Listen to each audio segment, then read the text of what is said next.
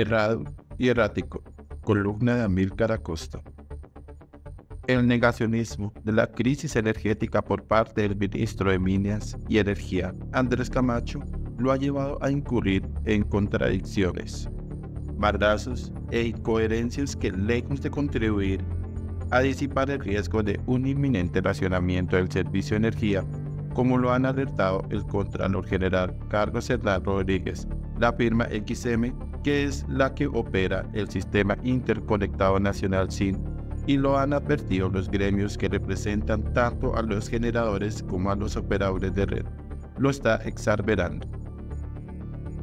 Errado y errático.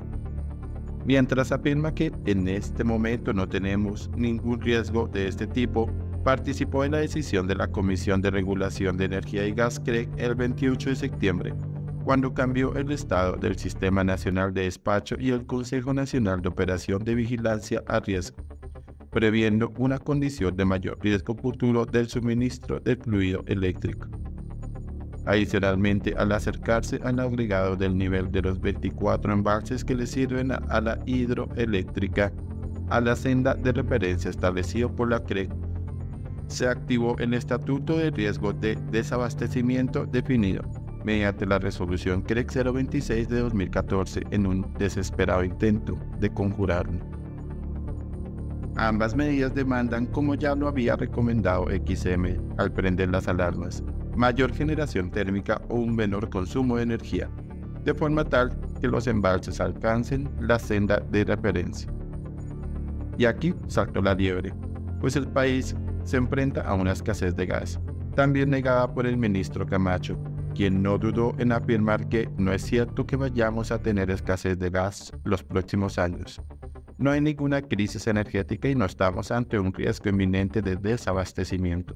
razón por la cual no hay ningún traslado de costos adicionales a los usuarios.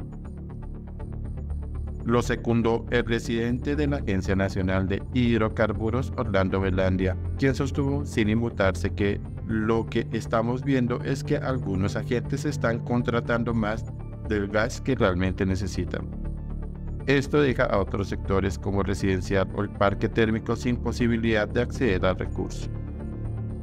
Pero los hechos son tosudos. Ante la escasez de gas natural requerido por el parque térmico de generación que lo necesita, pues se ha visto precisado ampliar su operación hasta los 90 gigavatios por día,